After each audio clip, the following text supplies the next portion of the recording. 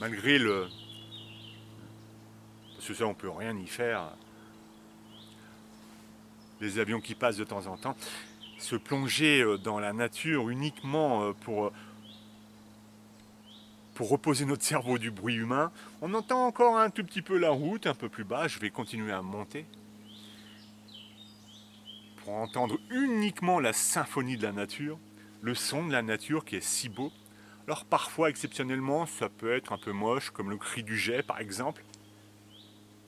Mais quoi qu'il arrive, c'est quand même mille fois plus beau que ce bruit humain qui, pour moi, me fait penser toujours à la roulette du dentiste, tellement c'est horrible. Le bruit humain est horrible.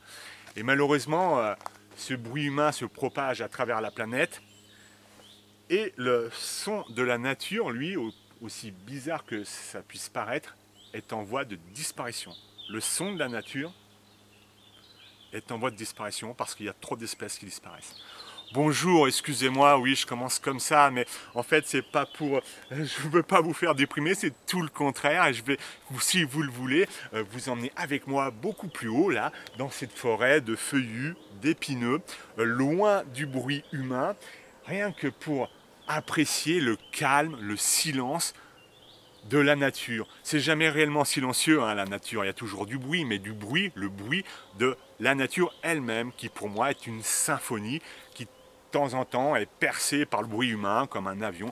Pour ne pas entendre de bruit d'avion, de toute manière, euh, sur cette planète, je ne sais pas trop où il faut aller. Et quand je pense qu'il va y en avoir deux fois plus d'avions dans moins de 30 ans, on entend encore un peu le bruit là-bas au fond, hein, des, sais pas quoi, une moto, j'en sais rien. Je vais aller m'éloigner, deux fois plus d'avions dans moins de 30 ans. Je ne sais pas où est-ce qu'il faudra aller, peut-être dans une grotte, euh, en profondeur, dans une grotte, euh, euh, pour ne pas entendre le bruit humain. bon, en tout cas, si vous le voulez, je vous emmène avec moi, vous inquiétez pas, cette vidéo sera toute sauf moche. Voilà. désolé de commencer comme ça, mais c'est une réalité. Et puis, au passage, et un clin d'œil, on les a, ça y est, on les a. Et on l'a ramené à la maison, 20 ans plus tard du bonheur. Allez, je vais rajouter du bonheur, si vous le voulez bien, euh, pour vous, euh, dans cette vidéo. Allez, moi j'y vais Là, ici, il y en a un qui a passé un mauvais quart d'heure. Il ne reste seulement que les poils. Je sais pas trop quel était cet animal. En tout cas, c'est vachement doux. Hein. Je ne sais pas ce que c'est que cet animal. Il n'y a pas le moindre os, os, pas la moindre peau, il n'y a que les poils. Je ne sais pas ce que c'est. On voit souvent. Ah là là là là là là, j'y crois pas. Alors ça, ça arrive de temps à autre. Assez rarement, mais ça arrive. Ah. J'ai monté tout ça pour être bloqué ici. Ils auraient pu prévenir quand même en bas. Ah, c'est pas sympa ça. Voilà, une barrière qui nous bloque le chemin. On peut pas continuer. Ah, j'y crois pas. Je suis dégoûté. Ah là là là là, bah, j'ai monté tout ça pour rien moi. On reste plus qu'à descendre. Monter tout ça pour rien. Bon, il y avait un chemin un peu plus bas. Euh, je sais plus où est-ce qu'il parle. Euh, euh, je sais plus. Je sais plus où il est. Bon je vais, je vais aller le prendre. Ah je suis écœuré là. Ça arrive de temps en temps. Bon, allez. De toute manière, l'essentiel et le plus important pour moi, et quoi qu'il arrive, c'est d'être quand même dans ce milieu si beau, si chouette et si reposant. Prenez le temps aussi de, d'observer les insectes comme ce papillon euh, qui butine. C'est, magnifique à regarder. Je crois que c'est le nacré, lui. Hein. Je suis pas sûr. Hein. Bah, il est parti. Le bourdon. Alors lui, c'est un insecte vraiment que j'adore. J'adore les observer, tout comme les frelons. Et euh, le, bourdon euh, n'est pas du tout, du tout agressif. Alors pour qu'il vous pique, il, il, en faut vraiment, vraiment, vraiment beaucoup. Euh, genre, vous le prenez dans la main, quoi, hein, vous le serrez, et là, il vous piquera. Et seules les femelles piquent, parce qu'elles ont un dard. Alors beaucoup pensent que les bourdons ne piquent pas. Si, ils piquent, mais il en faut vraiment, vraiment beaucoup. C'est vraiment un animal, enfin, pardon, un insecte pacifique, gentil, et il fait, parmi, il fait partie de la famille des abeilles. Regardez, là, il pourrait me piquer n'importe quand. Là, je l'embête, hein. Mais voilà, c'est pour vous montrer. Il y en avait trois, hein, juste avant. J'adore le bourdon. Il est très important, autant que les abeilles. Ah, et puis là, la zigane. Alors la zigane, euh, elle prévient, elle prévient les prédateurs. Attention, je suis toxique avec euh, ces cinq taches rouges comme ça là par, par elle. la zigane. Alors là, c'est la zigane du, du chardon. Vous savez que le chardon est comestible, hein le cœur du chardon. Regardez, il y a un chevreuil. Je vais pas faire trop de bruit. Il est là à côté de moi. Mince, je crois qu'il m'a entendu. Ou senti.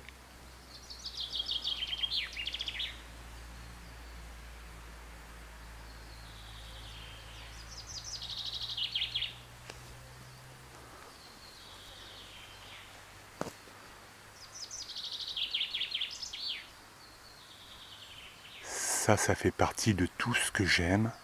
Un chevreuil. Juste là. C'est dommage parce que je ne sais pas si j'arrive à le, filmer correctement. Dans mon petit écran, je vois pas grand chose. À ma grande surprise, je retrouverai ce, ce chevreuil un peu plus loin.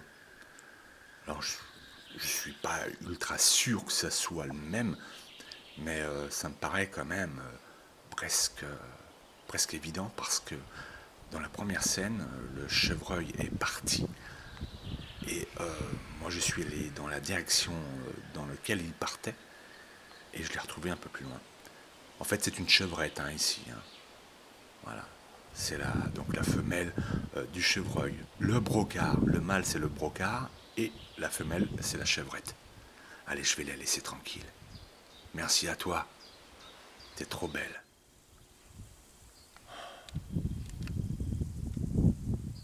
C'est merveilleux.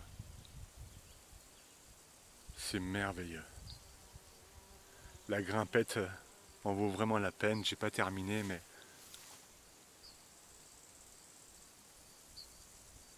Ce que, ce que je vis n'a pas de prix c'est le calme, le silence. Les insectes qui tournent autour, les oiseaux que j'entends, peut-être que le micro ne capte pas tout. Une belle vue, magnifique. J'aurais dû amener le duvet et dormir ici parce qu'il n'y a pas de lampadaire, il n'y a pas de route, il n'y a pas de voiture. Je pense qu'on doit voir un beau ciel étoilé. Et puis ça vous apaise, mais ça vous apaise. Qu'est-ce que ça vous apaise C'est un, comme je le dis souvent, c'est un antidépresseur naturel. C'est un véritable médicament, cette nature. Je ne comprends pas pourquoi l'homme s'en déconnecte à ce point-là. Il oublie. Il finit par oublier de là où il vient pour ne vivre que dans un monde aseptisé, industrialisé, virtuel. Pour moi, le cauchemar. Parce que jamais j'ai été émerveillé par du virtuel ou je ne sais trop quoi. Plus que ça. Plus que ça. Je ne sais pas si vous devinez, là-bas on voit très très très très très loin. C'est un peu blanchâtre, alors peut-être que le zoom ne fait pas son affaire. C'est merveilleux, c'est merveilleux. Vous faites un effort et vous êtes récompensé de cet effort. Je vous incite à aller le faire, surtout vous qui n'y allez pas bien, quelle que soit la raison. Au lieu de vous enfermer chez vous, les volets fermés, d'éviter tout le monde, allez vous reconnecter dans la nature. Je ne cesserai de le dire. Allez vous reconnecter dans la nature et vous verrez, Si vous voulez vraiment être seul, vous serez seul. Parfois, vous croiserez quelqu'un, mais en même temps, vous vous ferez du bien parce que chez vous, les volets fermés, dans le sombre, dans le noir, sans doute à regarder la télé ou faire mal aux yeux, ou un, mobile ou un ordinateur, ça n'arrangera pas vos problèmes. Alors que peut-être ici, dans la nature, et si vous y allez régulièrement, ça vous fera un bien, un bien fou. Déjà, vous ferez un effort, vous allez vous oxygéner, les arbres vous offriront leurs phéromones, leur chlorophylle, je le dis souvent ça, hein, et qui vous feront du bien, un bien fou, au corps, à l'esprit, au mental, à tout.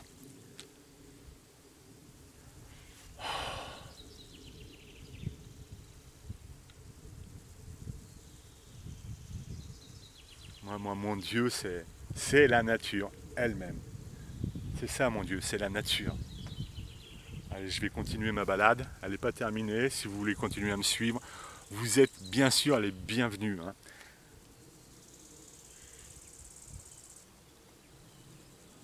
Je deviens euphorique, moi, quand je suis dans la nature. Je sais pas, je deviens euphorique. C'est elle qui me rend comme ça.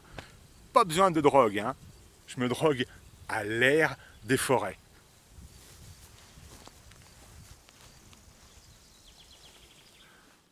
Ah, je m'arrête deux secondes. J'espère que, j'espère que vous n'avez pas peur des araignées. Moi, j'adore les araignées comme celle-ci. Là. Il y en a encore des plus belles que celle-là. Elle, elle est toute, toute jaune. Et puis, il y en a une autre espèce qui lui ressemble énormément, qui est complètement blanche, avec des petits yeux rouges. Et ici, c'est l'araignée jaune, hein, la, la Tomisus. Euh, alors, euh, en fait, c'est en deux noms, la Tomisus, euh, Tomisus, je sais plus trop quoi en fait. Hein. on oublie, hein, mais voilà, moi j'aime bien, j'aime bien les regarder. Elles sont pas spécialement agressives, et là, elle a son cocon dans lequel elle a sans doute, sans doute pondu. Je vais la laisser tranquille. Salut toi, excuse-moi. Hein. Là, là, je vais être obligé de prendre les lunettes parce que je crois deviner ce qui se passe. Il y a un crapaud devant moi là mais je vois pas super bien ce qu'il a sur le corps, mais je crois déjà avoir compris. Ah, ouais, d'accord. D'accord, ce sont des œufs. Alors je vais vous le montrer, hein, parce que ça pourrait malgré tout vous intéresser, mais ce qui se passe, ce qui arrive à ce crapaud est, horrible. C'est un crapaud qui est sans doute malade ou en fin de vie, et puis vous avez la mouche, euh, la mouche verte, alors j'ai oublié son nom, qui va en profiter pour venir euh, il déposait ses œufs, déposer ses œufs directement euh, sur son corps. C'est atroce. Cette mouche, elle s'attaque pas seulement aux crapauds, elle peut s'attaquer à toutes sortes de batraciens, de reptiles, de mammifères. Et euh, c'est horrible, ce, qui se passe. Et euh, aussi dans les pays pauvres, alors je ne sais pas si c'est la mouche verte, hein, mais dans, les pays pauvres aussi la mouche peut s'attaquer aux hommes quand ils ont des plaies. c'est surtout dans les pays très très très pauvres. Hein elles peuvent pondre dans des plaies aussi. Alors en fait, en filmant le crapaud, euh, je me suis aperçu qu'il lui manquait une patte droite, comme vous pouvez voir sur l'image là, et puis que la patte gauche, avant aussi, hein, la patte avant, euh, sont atrophiées. Et c'est sans doute l'une des raisons pour laquelle cette mouche euh, s'est attaquée à lui. Euh, elle s'attaque à tous les à tous les batraciens faibles, à tout euh, tout ce qui peut être faible. Alors c'est peut-être pas la même mouche qui va s'attaquer par exemple aux hérissons, mais vous avez les mêmes symptômes aussi avec les hérissons, euh, les hérissons et toutes sortes de d'autres mammifères.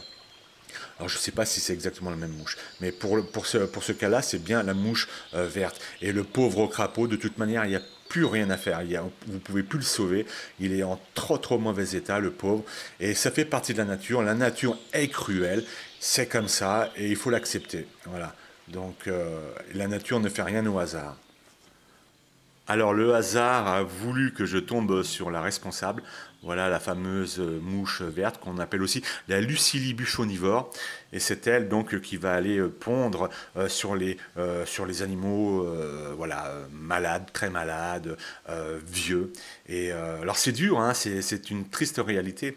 Alors moi souvent je sauve, il m'arrive de sauver pas mal d'animaux, mais là pour le crapaud c'est carrément beaucoup beaucoup trop tard. Et puis en plus cette mouche qu'on pourrait comme ça montrer du doigt, eh bien participe également à faire en sorte bah, elle participera à faire que le cadavre sera beaucoup plus vite décomposer euh, dans le milieu naturel et enrichira à son tour les sols. Je sais que c'est dur, mais c'est la triste réalité. Ouais, bah ça c'était plus qu'évident. Bâton de sucette. faudra, euh, je sais pas combien de dizaines d'années pour qu'il se dégrade.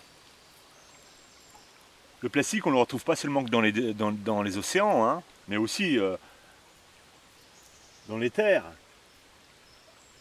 C'est la planète entière qui est inondée de plastique.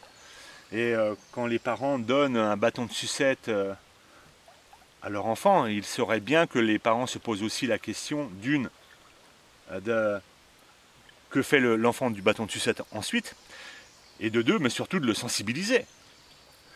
Euh, de lui dire euh, tiens, une sucette, quand tu as fini, tu gardes le bâton, tu le ramènes à la maison et tu le jettes à la poubelle parce que ça pollue la planète. Voilà. Et ça pollue vraiment, hein, parce que même quand il sera dégradé, il sera, quoi qu'il arrive, toujours là. Des particules de plastique qui, seront, qui ne seront plus visibles à l'œil, à l'œil nu. Et ça, c'est qu'un bâton de sucette, vous allez me dire, mais des déchets plastiques, on en trouve de partout, de partout, partout.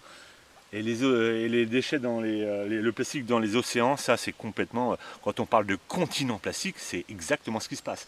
Il n'y en a pas qu'un seul de continent plastique, il y en a plusieurs. Et les animaux ont beaucoup de mal à traverser tous ces déchets sur des centaines et des centaines de kilomètres.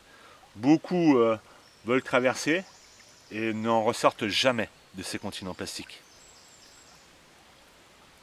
Peut-être que les parents devraient un peu plus sensibiliser aussi leurs enfants.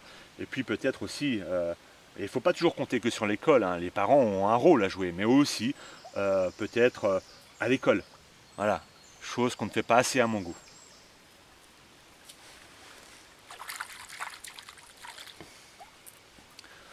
Allez.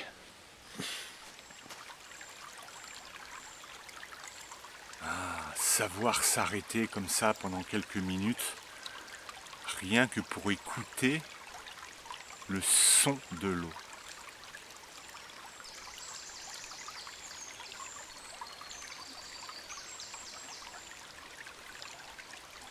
C'est la zénitude ça. Ça aussi, ça vous détend euh, comme pas possible l'eau, le bruit de l'eau qui coule.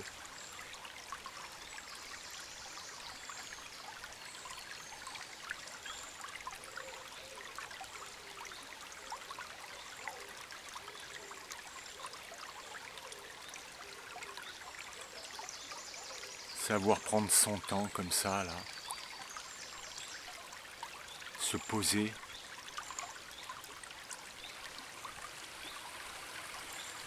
Se détendre. Un moment.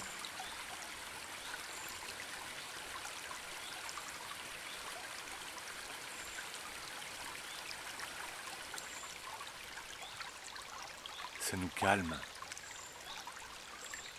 Le bruit de l'eau nous calme nous berce.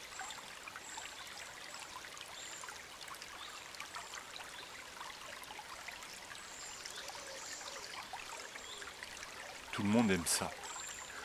Sans doute parce que à l'origine, et on le sait, la vie aurait commencé dans les océans. Et du coup, parce que c'est pas les extraterrestres qui nous ont amenés sur Terre, eh bien du coup, nos ancêtres les plus lointains sont nés dans les océans. Et notre corps est composé entre 70 et 80% d'eau et d'eau salée, comme l'océan. Assez étonnant quand même. Peut-être que c'est l'une des raisons pour laquelle on aime tellement le bruit de l'eau.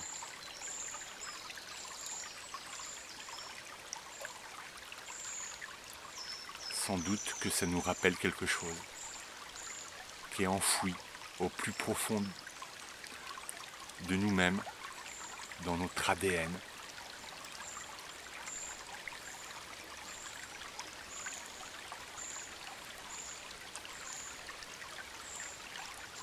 La nature, en fait, euh, c'est un livre, un grand, grand, grand livre.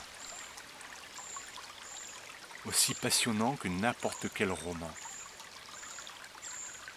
Parce que dans le livre de la nature, on ne cesse d'apprendre.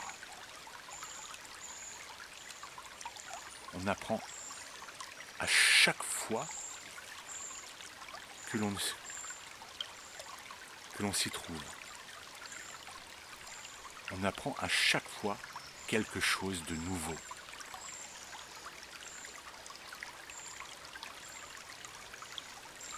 C'est un livre, c'est un film qui se déroule devant nous.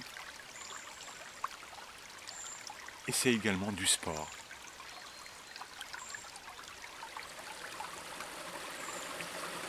Parce qu'il faut souvent crapahuter. Fait, la nature, c'est un tout. En un seul endroit, vous avez tout. Le livre, le film, l'eau qui coule fait partie aussi du son de la nature. Ce sont tellement agréables. Mais même le bruit d'une cascade est agréable. Le bruit de la mer est agréable. À chaque fois, l'eau, le son de l'eau, finalement, est agréable.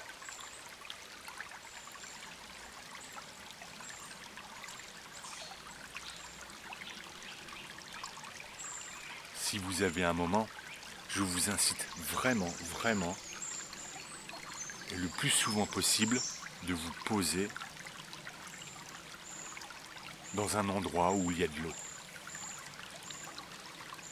Allez, moi je vais continuer ma balade. C'était un petit moment comme ça, moment de calme, de silence, de, naturel. Et moi, je vais continuer de ma balade et j'ai une bonne, bonne, bonne grimpette là-bas. Alors, c'est pas la peine que je vous le montre, ça donnera rien, ça donne jamais rien avec la caméra. Mais ça grimpe grave. Je vous laisse encore un petit moment? Moi, j'y vais.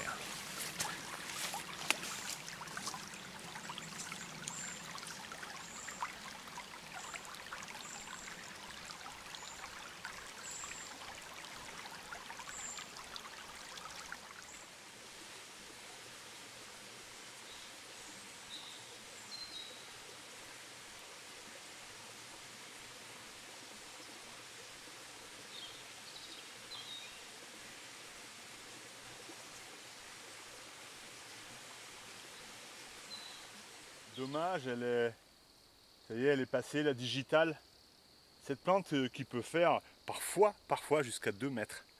Mais là, euh, alors c'est toute une grappe de fleurs, je ne sais pas si on voit là, c'est dommage. Hein. C'est une grande grappe de fleurs euh, mauve, rose. Attendez là, il y en a une là. Pour vous donner une idée, hop, ça me casser la gueule. Voilà, ça ressemble un peu à ça. Les bourdons infectionnent cette plante, ils vont aller butiner là, à l'intérieur, ils affectionnent ça. Et la plante est remplie de fleurs comme celle-ci, euh, sur euh, parfois 50 cm de hauteur. Une grappe de fleurs comme ça. C'est une plante toxique, la digitale. Mais euh, en pharmacie, enfin dans les laboratoires pharmaceutiques, ils arrivent quand même à extraire quelques molécules pour en faire malgré tout des médicaments. Souvent avec ce qui est toxique. Si on le mange comme ça, on peut mourir, nous, mais dedans il y a des substances qu'on peut récupérer et qui, au contraire, deviendront des médicaments. Voilà, la digitale, là, elle est complètement passée. Je ne sais pas si vous pouvez voir l'intérieur, c'est magnifique l'intérieur d'une fleur. Allez, on va essayer de voir euh, si je peux le... Là, vous voyez un peu, non? Bon, encore une fois, hein, elle est un peu passée, la plante, là. Hein. Puis vous avez des petits, comme des, euh, des petits poils, comme des petits crochets à l'entrée, mais ça va jusqu'au fond. Hein. Ah. Elle est magnifique et les bourdons adorent, adorent euh, euh, euh, venir la butiner. Ah. J'espère qu'on voit bien parce que en fait j'en sais rien du tout. Moi je vois rien du tout hein, de ce que je fais là. Vraiment. Et là. Bon je vois rien. Hein. Moi franchement vous, vous voyez mille fois mieux que moi. Enfin voilà, c'était la digitale. Superbe fleur.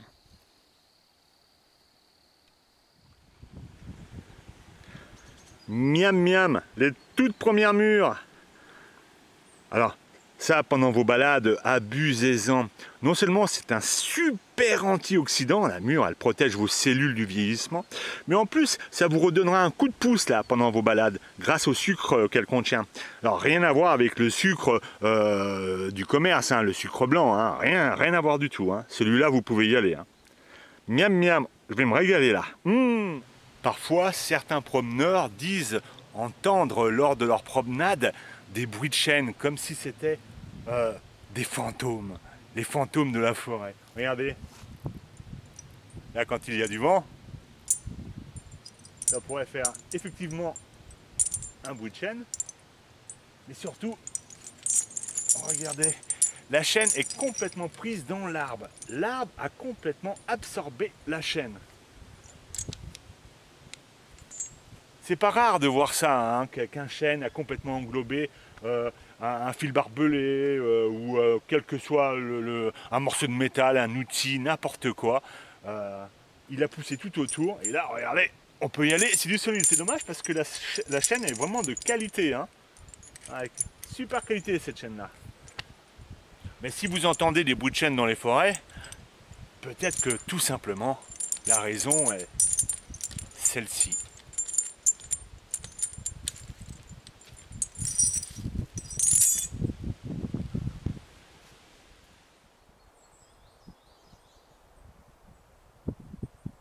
Dommage.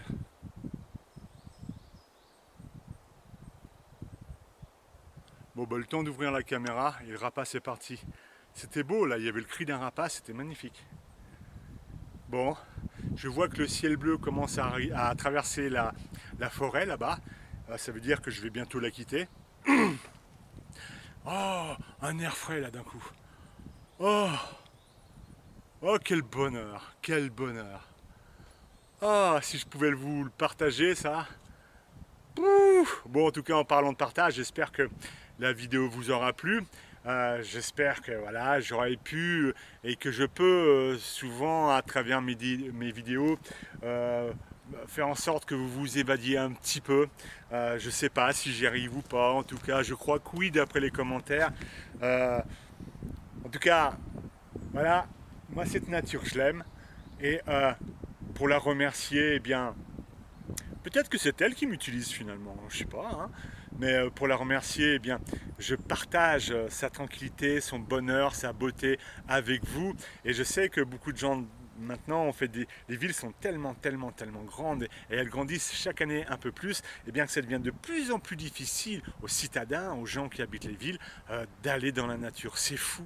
La nature s'éloigne de plus en plus des êtres humains et euh, c'est vraiment dommage. En tout cas, voilà, quoi qu'il arrive, euh, si je peux vous donner un petit peu de bonheur avec, euh, avec ce genre de vidéo, si je peux vous donner ne serait-ce qu'un dixième du bonheur que cette nature me donne à chaque fois, je crois que j'ai jamais décrit comme il aurait fallu le bienfait, le bienfait que me me procure la forêt, la nature. Pas seulement une forêt, mais aussi être dans les champs, euh, au bord d'un ruisseau, d'une rivière. Enfin voilà, je crois que j'ai jamais vraiment décrit euh, à quel point ça me fait un bien fou. Et évidemment, et surtout, pour la remercier, je fais pas que des vidéos, mais j'essaye le plus possible, si je peux, de sensibiliser les gens. Et puis moi, euh, d'agir comme je le peux. Euh, je me vante pas trop là-dessus parce que voilà, j'ai pas, pas à le faire. Je fais mon possible pour essayer. Euh, euh, on n'en fait jamais assez trop de toute manière, hein, mais je fais mon possible pour essayer de, ben, d'essayer de, faire en sorte que qu'elle arrête d'être meurtrie. Enfin voilà, bon allez, je voilà faut dire que je suis un petit peu fatigué là maintenant. Hein. Ça fait moi, euh, oula, je sais pas combien de temps ça fait.